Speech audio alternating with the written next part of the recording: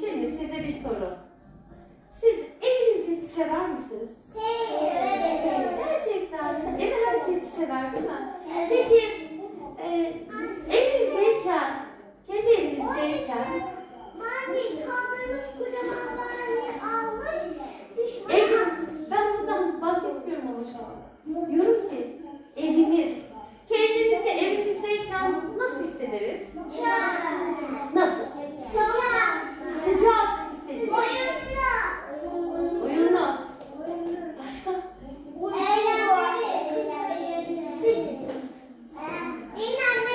Dinleniriz, eğleniriz, ihtiyaçlarımızı karşılarız. Bir de kendimizi nasıl hissederiz? Gergin mi, rahat mı, huzurlu mu, heyecanlı mı? Nasıl? Nasıl hissederiz? Rahat hissederiz. Sen rahat hissediyorsun evini. Çünkü evimizde e, orası bizim ait olduğumuz yerdir değil mi? Sen diyorsun ki huzur ve rahat his- e, huzurlu ve rahat hissederiz. Çok doğru. Ben de öyle hissederim. Çünkü çünkü evimiz bak bak.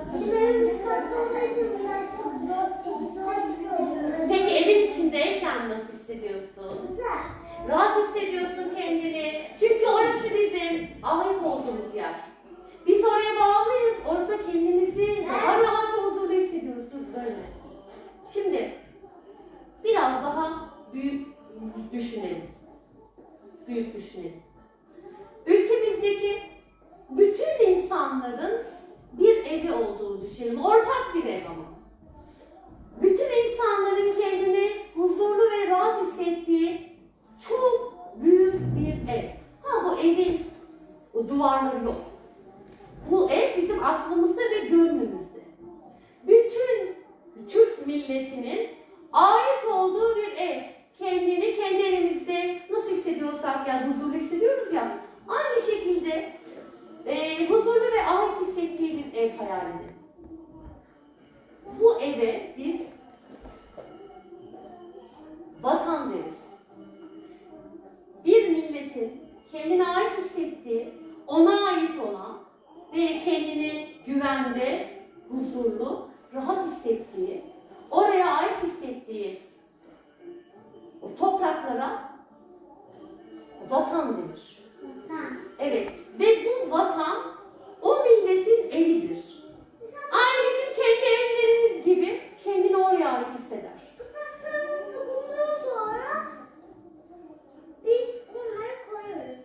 Ay ne güzel söyledin. Ben de onlardan bahsedecektim.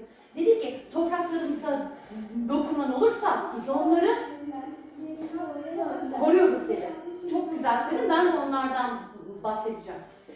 Nasıl ki evimizi güzelleştiriyorsak, kirlendiğinde temizliyorsak, dağıldığında topluyorsak, millet olarak da evet güzelleştirmek için de mi bitkiler ekiyorsak, vatanımızı da o büyük büyük evimizi de biz ne yaparız millet olarak güzelleştiririz, koruruz.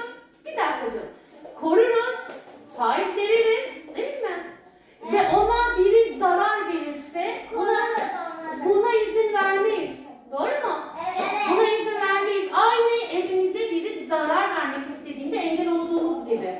Milletin evi neresidir? Biraz önce konuştuğumuz gibi vatandır.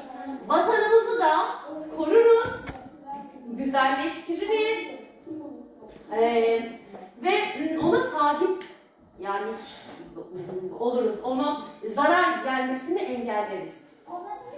Bakın burayı çok iyi dinleyin. Bundan tam 106 yıl önce 106 yıl önce dünyada çok büyük bir savaş varmış. Bu savaşa bizim o dönemki ait olduğumuz e, yani şey ülke olan Osmanlı Devleti de dahil olmuş. Bu, bu savaşa. Evet Osmanlı Devleti'ni artık bayağı öğrendik değil mi? Osmanlı Devleti de bu savaşa dahil olmuş. Anlamanız için söylüyorum. Bu savaş e, Çanakkale'den bahsedeceğim. Aslında Birinci Dünya Savaşı bunun adı. E, bu savaşta Osmanlı Devleti de bulunmuş. Ama e, Kurtuluş Savaşı var ya hani çok üzerinde bilgiler ediniz. Ondan önce oluyor bu olanlar. Tamam mı? Dinle. Ve bu savaşta Birinci Dünya Savaşı'nda Osmanlı Devleti'nin savunması gereken çok özel bir yer varmış. İsmini az önce söylemişler. Ne dedi? Çanakkale. Dünya tarihinde mi? Çok olmuş hayat. Hı hı. Daha fazla ne yazık ki. Saymıyordum. Onu bir şey diyemeyeceğim. Saymadım. Ama bizim tarihimizde de çok olmuş. Ha? Saymadım. Şimdi anlattım da o değil zaten. Bak. Ee, Çanakkale öyle bir yermiş ki oradaki savaşı yenersek ve Osmanlı Devleti için çok önemliymiş.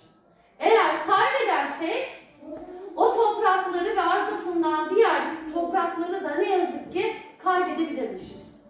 Bu yüzden oradaki askerler, oradaki ordu, e, orduya çok iş düşüyormuş. Çanakkale'yi vermemeleri lazımmış. Çok önemli bir yermiş çünkü. Ve bu e, cephenin liderliğini bilin bakalım hangi muhteşem insan yapıyormuş. Evet, evet Atatürk. O zamanlarda adı tabii ki Mustafa Kemal. Mustafa Kemal buranın komutanlığını yapıyormuş. Ve o kadar doğru adımlar atmış, o kadar doğru yönetmiş ki ve oradaki askerler o kadar emek vermişler, o kadar e, savaşmışlar ki Çanakkale'yi vermemişler.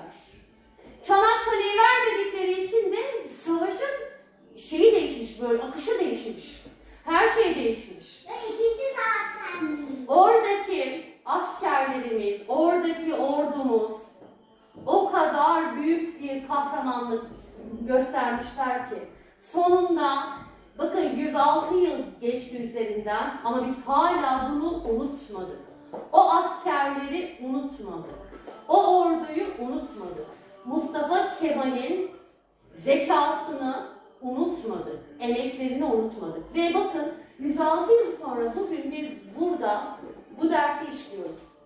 Ve bahçede ortaokullar da bu dersi işliyor. Bütün okullarda, Türkiye'de her yerde biz o askerleri hatırlıyoruz, anıyoruz, onlara e, minnettar olduğumuzu hatırlıyoruz. Ve bu, bu, yani bu cepheden sonra, bu zorlu savaştan sonra bir şey kalmış akılda. Bakın ben buraya yazdım. Birazdan birlikte sizinle bununla bir bununla ilgili bir etkinlik yapacağız. Bakın burada ne yazıyor?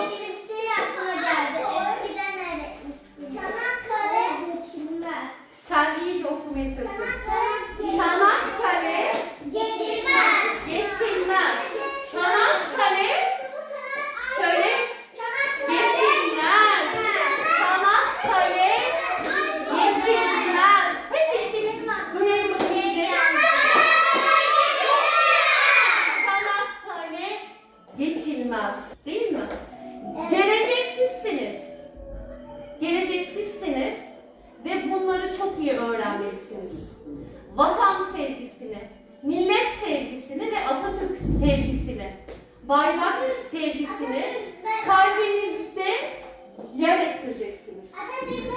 Tarihinizi öğreneceksiniz. Tarihinizi bileceksiniz. Geçmişte neler olmuş?